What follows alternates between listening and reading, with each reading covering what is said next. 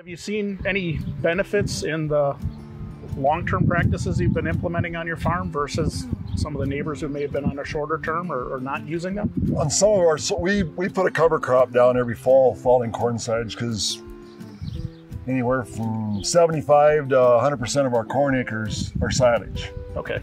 So we uh, we airflow rye on and then work it in with a vertical till, and that can be challenging too if you have a dry year like this. Germination, and some years you could dump it on top of the gravel road and it'll grow with so much moisture. So it's Sure. kind of hit and miss. But uh, on some of our tougher soils, uh, the the rye cover crop helps because it just it's got a deep root on it, kind of loosens things up a little bit, gets prepared for the next next year.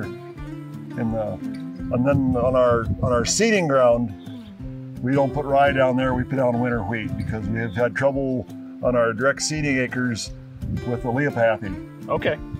It's the, that rye seed wants to spin off a toxin and kills the new seeding. So Right. we use winter wheat where we're gonna for a cover crop where we're gonna seed alfalfa. So you still spring seed then with that? Yep. Okay. Yep. And I this year I did I did some well every year we do some, but I, I no-till some alfalfa, and I have fabulous success with no-till alfalfa. That's good to hear. We use a John Deere drill, no-till drill, and it, it really works nice.